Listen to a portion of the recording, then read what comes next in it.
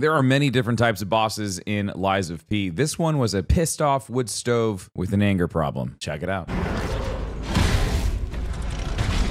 Oh boy. Is it a big shovel guy? No, it's not. This guy's gonna fist me. Sick.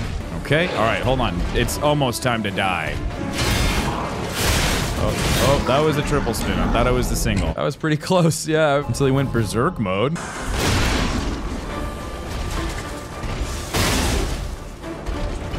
He's gonna do it.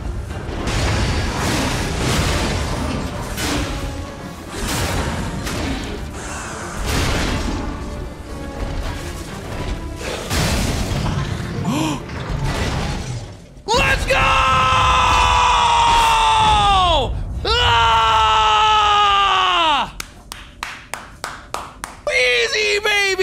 That was clean!